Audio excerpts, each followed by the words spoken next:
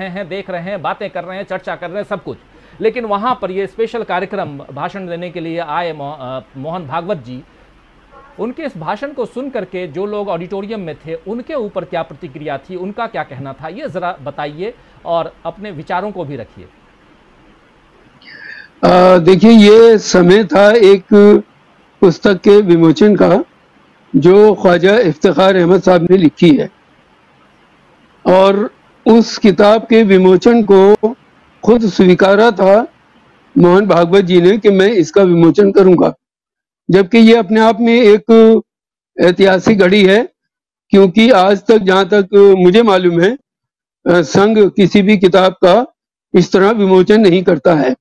तो ये पहला अवसर था जब मोहन भागवत जी ने किसी पुस्तक का विमोचन किया।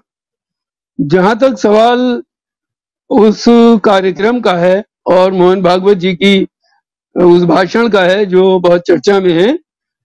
तो मैं चूँकि वहाँ उपस्थित था और कार्यक्रम इस लिहाज से बड़ा इंपॉर्टेंट था कि पहली बार संघ ने अपनी लाइन से हट करके और कुछ बातें वहाँ साझा की और ये उम्मीद जताई कि अब सेतु का काम होगा हिंदू मुस्लिम एकता के दरमियान। लेकिन मेरा ये मानना है कि एक तरफ़ संघ की अपनी विचारधारा है और जब भी संघ बात करता है, वो सबको जोड़ने, सबकी उन्नति, सबकी तरक्की, सबको साथ लेने की बात करता है। लेकिन उसके जो दूसरे संगठन हैं, वो ठीक उसके विपरीत काम करते हैं। लेकिन संघ ने कभी भी उन पर अंकुश लगाने की बात नहीं की। कभी संघ ने ये नहीं कहा कि हम अमुक समस्या को लेकर के हमारा ये विचार है। वो अपनी बात कहते रहते हैं और जिन लोगों को जो काम करना होता है, वो अपना काम करते रहते हैं। पहली बार संघ प्रमुख ने मोब लिंचिंग को लेकर के फ़िक्र जताई और ये कहा कि जो गुनहगार हैं, उन्हें सजा मिलनी चाहिए। लेकिन उन्हीं की सरकार में एक मंत्री जयंत सिन्हा, आप सब लोग वाकिफ हैं जिन्होंने मूव लिंचिंग के मुलजिमों को न सिर्फ़ माला पहनाकर उनका आदर सत्कार किया, बल्कि उसके बाद से अब तक भी कितने ही इस तरह के मामले हो चुके हैं। मगर किसी भी सतह पर उसको रोकने के लिए कभी बात नहीं की गई। तो ये पहला मौका था जब सरसंघ चालक ने इस मुद्दे को उठाया। उन्होंने एक बात बड़ी इंपॉर्टेंट कही जहाँ तक मैं समझता हूँ और वो उनके अपने विचारधारा का हिस्सा भी है कि जो भी भारत में रहते हैं, वो सब हिंदू हैं और सबका डीएनए एक है। तो इसमें हिंदू मुसलमान का कोई सवाल ही नहीं होता। लेकिन जब हिंदू मुसलमान का कोई सवाल नहीं होता तो फिर ये सवाल कहाँ से आता है कि नागरिकता दिखाएँ और ये बताएँ मुसलमान कि वो यहाँ के नागरिक हैं। ये बहुत ही कंट्राडिक्टरी चीज़ें हैं, जिनको मेरा ख्याल है कि संघ को अपने यहाँ भी और अपने जो उसके साथ जुड़े हुए दूसरे संगठन है, उनमें भी इस विचार को स्थापित करना होगा। यदि वे ऐसा करते हैं तो ये भारत के भविष्य के लिए शायद बहुत अच्छा हो सकता है। और सभी लोग ये चाहते हैं कि भारत में सुख हो, शांति हो, यही तो झगड़ा है। तो अब इस झगड़े को निपटाने के लिए एक तरफ़, श्यामा प्रसाद मुखर्जी ने कहा कि गली गली जब तक संघर्ष नहीं होगा, तब तक इस मसले का हल नहीं होगा। दूसरी तरफ़ डायलॉग की हम लोग बात कर रहे हैं कि मुसलमानों के साथ डायलॉग होना चाहिए, बात होनी चाहिए। ये एक अच्छी चीज़ है कि डायलॉग होना चाहिए, लेकिन डायलॉग की कुछ सीमाएँ भी हैं। अगर dialogue without any purpose without meaning होता है तो उसका कोई फ़ायदा नहीं है। एक तरफ़ आप कहते हैं कि सबकी आस्था, चाहे वो आकार में हो या निराकार में अपनी अपनी आस्था है और हम सबके साथ हैं।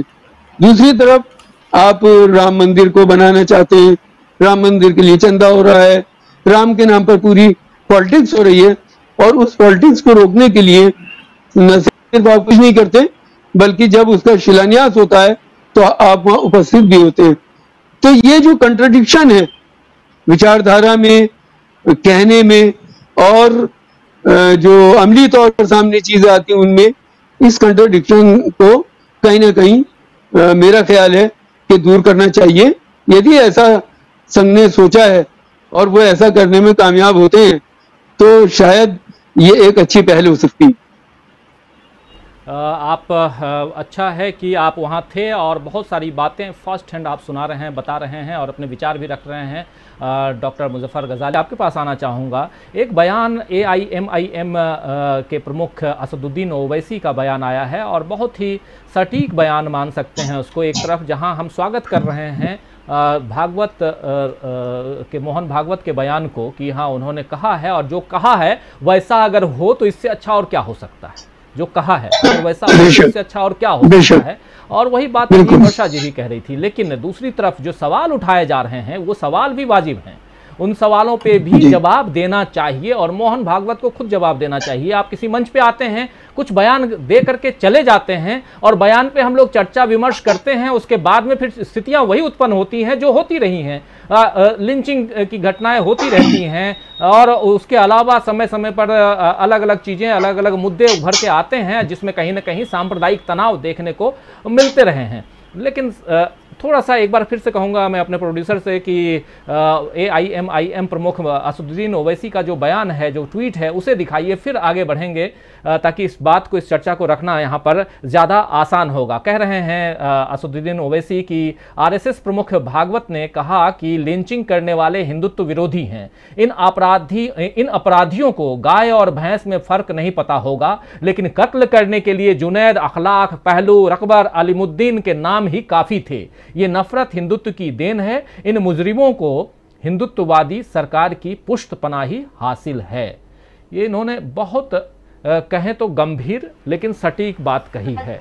मैं इनकी बातों से इत्तेफाक रखता हूँ। और इसी के साथ डॉक्टर गजाली आपके पास आना चाहूँगा। एक पत्रकार होने के नाते आप इनके बयान को, देश की परिस्थितियों को और मोहन भागवत के समय समय पर आने वाले बयान को किस रूप में लेंगे?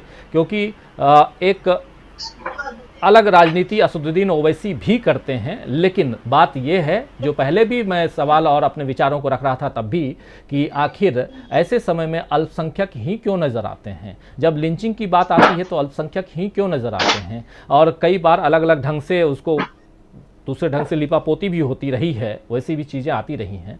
और अ, ये जो ट्वीट है इनका इनका जो बयान है सदुद्दीन ओवैसी का इसको आप यहाँ किस रूप में देखते हैं?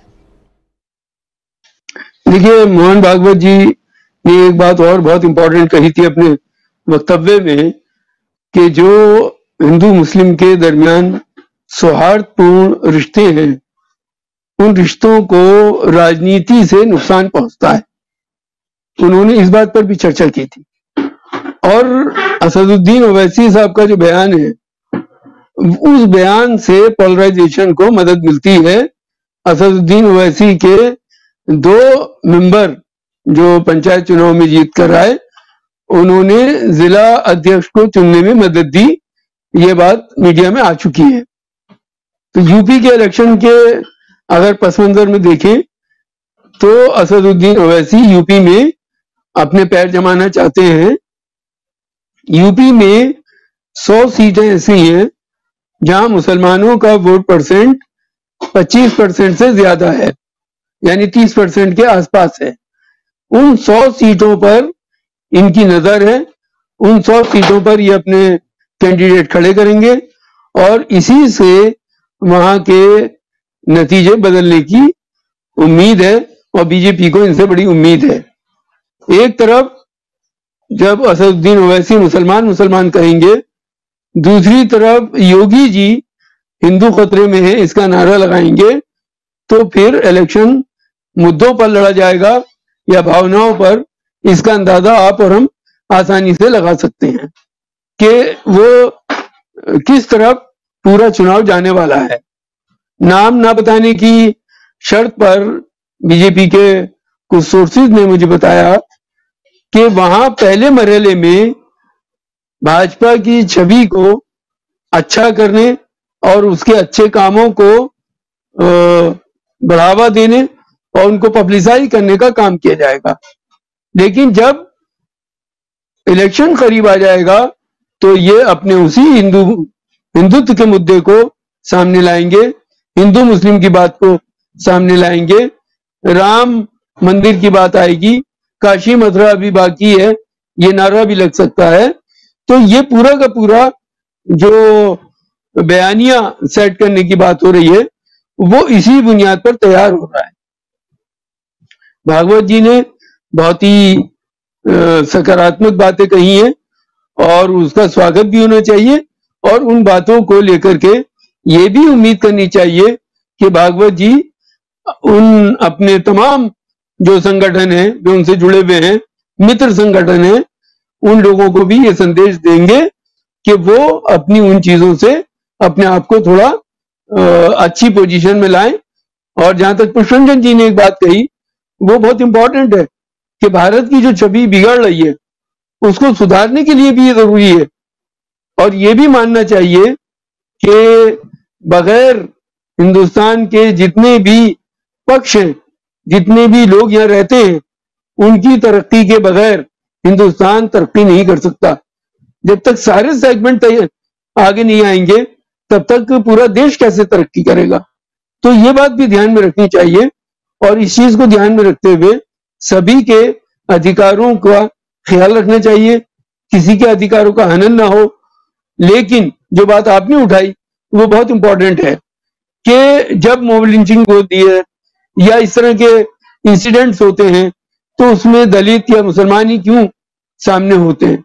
असल में जो कल मोहन भागवत जी ने भी ये बात कही कि जो भी इस तरह के इश्यूज़ होते हैं, उसके खिलाफ खुद हिंदू बोलते हैं। मुसलमानों पर अत्याचार होता है उसके खिलाफ भी हिंदू बोलते हैं।